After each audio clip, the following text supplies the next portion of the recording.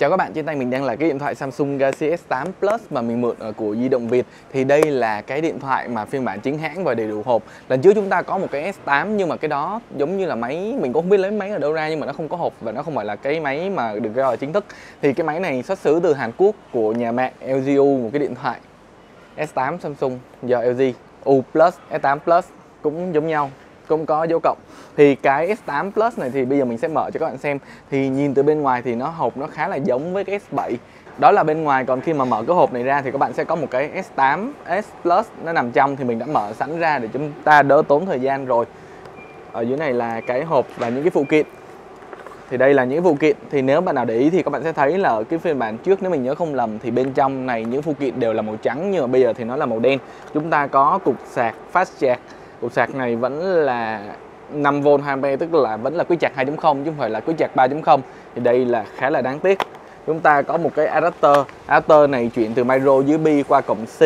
Chúng ta có một cái adapter từ cổng C ra cổng USB lớn dùng cho tính năng OTG và những cái phụ kiện bên trong. Có tai nghe AKG và cái cáp C. Đó, rất là đầy đủ, có cả tiếp tai nghe trong này nữa. Như vậy thì cái hộp này cũng không có quá nhiều khác biệt so với lại cái Galaxy Note hay là Galaxy S7 ngày xưa. Quay trở về với lại cái Galaxy S8 Plus Thì cái cảm giác đầu tiên của mình khi cầm trên tay là nó dài. Nó giống như là một cái S7 mà Samsung họ kéo cái phần này lên, họ kéo cái phần này lên làm cho nó dài hơn và nó mỏng hơn. Cách gọt đi hai bên. Xét về chiều dài cơ bản thì cái S7 cái S8 Plus thì nó chỉ ngang với lại cái iPhone thôi. Các bạn thấy là chiều dài cơ bản là ngang nhau. Tuy vậy thì cái màn hình thì nó ngắn hơn. Cái hai bên thì nó, cái cạnh bên nó hẹp hơn rất là nhiều cảm giác cầm trên tay thì rất là thoải mái. Tuy vậy thì nếu bạn nào mà thích một cái gì đó vừa tay thì có lẽ là họ sẽ thích những cái máy như là cái Galaxy S8 thường hơn là cái S8 Plus này. Cá nhân mình thì thấy thiết kế của cái máy này nó dài như vậy và đẹp như vậy thì nó phù hợp với lại cái S8 hơn là S8 Plus. Nhưng mà nếu mà mua để dùng thì mình sẽ mua cái S8 Plus. Bởi vì nó lớn hơn, màn hình nó cũng lớn hơn, còn đối với mình cái màn hình của S8 nó vẫn hơi nhỏ có nhiều bạn nói là màn hình 5.8 inch hay 6.2 inch tại sao vẫn coi là không lớn? Là bởi vì ở trên những cái thể điện thoại này thì bây giờ họ chuyển qua họ sử dụng cái tỷ lệ màn hình là 18 hay 18.59 chứ không phải là 16.9 như ngày xưa.